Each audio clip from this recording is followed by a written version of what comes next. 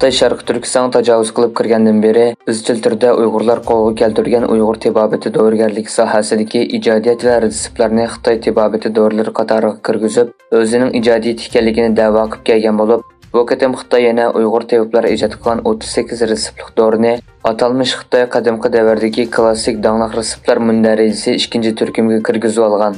Xitoy Jonyi dorilarni boshqarish idorasi organ torining 2 sentabr xabar qilishicha, Xitoy dori nazorat qilish boshqarish idorasi Xitoy tibobati dorilarni boshqarish idorasi bilan birlikda atalmish qadimgi davrdagi klassik danglik retseptlar mundarisi 2 turkumni e'lon qilgan.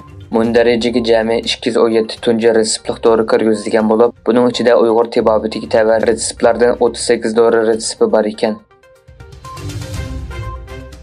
9-ayının 7-8 günləri Tayvanның Taybi şəhərində xalqara dini etiqad erkinlik yığını çağırılğan olub, Uyğur qırğınçılığı yığınının əsası temasına aylanğan. Bu yığınğa Amerika, Avropa dövlətləri, Afrika və Latin Amerikası dövlətlərindən gələn parlament əzaları, ammavi təşkilat məsulları, dini zatlar, fəaliyyətçilər və Tayvan parlamentinin rəisi Yusukun əfəndi və parlament əzalarından olub 150 kişi iştirak qılğan. Mazkur yig'inga Dunyo Uyg'ur qurultayining raisi To'lqin Isa apandi, ijroiya raisi Umar Qanat apandi va Amerika Xalqaro diniy erkinlik komitetining sobiq raisi Nuri Turkal apandilar taklif bilan qatnashgan. istanbulga joylashgan xalqaro sharq turkiston tashkilotlar birligining raisi hidoyatullo o'g'izxonning yetakchiligidagi bir hay'at 6 sentabrdan boshlab anqarada ziyoratda bo'lgan Hay'at oldi bilan Turkiya Ma'rif ministrligining muavin ministri Nazif Yilmazni ishxonasida ziyorat qilgan. Ziyorat davomida Nazif Yilmaz apandining yangidan tayinlangan xizmatida muvaffaqiyatlarni qo'lga keltirishga tilakdoshlik bildirgan. Hay'at orqadan Buyuk Birlik partiyasining markaziy ishxonasida partiya raisi Mustafa Dastichi apandini ziyorat qilgan. Hay'at yana yangidan Rafah partiya a'zosi doktor Fatih Arbaqanni partiyaning markazida ziyorat qildi va Sharq Turkiston da'vosining kelajagi haqida fikr almashtirgan. Xitoyning bir balvoq bir yo'l turiga qatnashgan birdan-bir G7 davlati Italiya bu turdan chekinish planini e'lon qildi.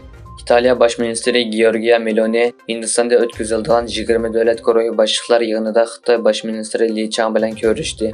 Italiya taratqullarining xabariga qaraganda, bosh ministr Meloni yig'in jarayonida bir balvoq bir yo'l turidan ayrilish niyatini Xitoyga yetkazgan.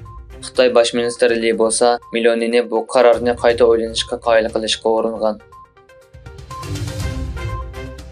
Amerika prezidenti Jo Bayden va Vyetnam kompartiyasining bosh kotibi Putrong bilan ikki davlatning munosabat saviyasini universal strategik sheriklik munosabatiga ko'tarishga qo'shildi.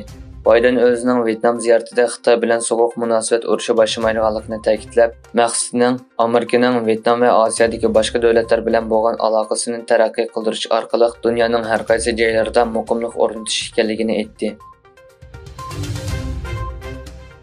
Marokashdagi yer tevrashda hayotidan ayrilganlarning soni 2122 ga, yaralanganlarning soni 2421 ga yetdi. marokashning adliya ministri Abdullatif Vehbi o'z davlatidagi 7 bal yer tevrashdan nurg'on yezi kentlarning butunlay vayron bo'lganligini bayon qildi.